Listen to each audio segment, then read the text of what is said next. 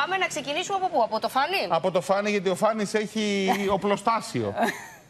Μολότοφ ε, και όλα αυτά που βρέθηκαν στο Πολυτεχνείο. Ο πλωστάσιο στο Εθνικό Μετσόβιο Πολυτεχνείου στους Ζωγράφους σε αποθήκη εργαστηρίου, ύστερα από πληροφορίες, αστυνομικοί της κρατικής ασφάλειας έκαναν έφωτο και βρήκαν ε, 8 βόμβες μολότοφ έτοιμες για χρήση, 17 αυτοσχέδιους επριστικούς μηχανισμούς, 8 στυλιάρια, 8 σιδηρολοστούς, 3 βαριοπούλες, σφυριάς και πάρνια πριόνια, φλόγιστρο και γωνιακό τροχό. Μάλιστα. Ένα μικρό οπλοστάσιο θα λέγαμε και τα ευρήματα έχουν πάει έχουν μεταφερθεί στην, ε, στη Διεύθυνση Εγκληματολογικών Ερευνών για να αναλυθεί και αν έχουν χρησιμοποιηθεί σε εγκληματικές ενέργειες ορισμένα και γενικώς για να ληφθούν ε, γενετικό υλικό και να φτάσουμε κοντά στους κατασκευαστές τους των ε, βομβών, μολότοφ και των αυτοσχέδιων μηχανισμών και όποιον άλλων επιλήψιμων στοιχείων έχουν βρεθεί. Μάλιστα. Πάντως να πούμε ότι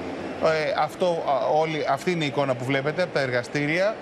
Εντάξει, δεν είναι κανονική εικόνα. Έτσι, εργατε- εργαστηρίου Πανεπιστημιακού Δεν είναι Ιδρύματος. εικόνα δικαστηρίων, βέβαια. Έτσι, ε, τώρα το υπόλοιπο το έχει αναλάβει η αστυνομία και θα δούμε τι θα ταυτοποιήσει, αν θα βρεθεί η σύνδεση αυτών των αντικειμένων με οποιαδήποτε, όπως είπες, σε εγκληματική ενέργεια.